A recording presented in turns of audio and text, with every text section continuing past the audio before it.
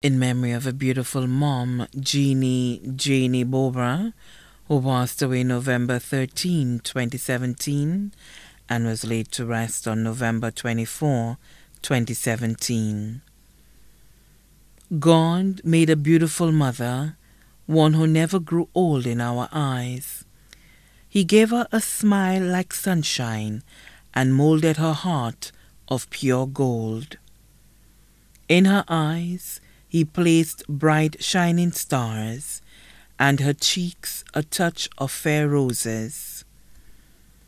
To the world she was just a person, to us she was our world.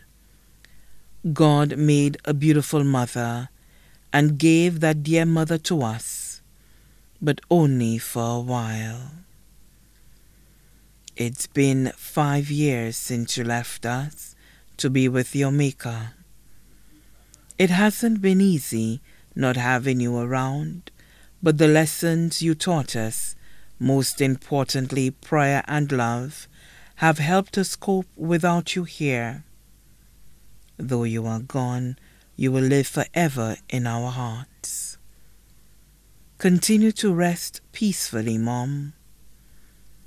Forever loved, forever missed, never forgotten.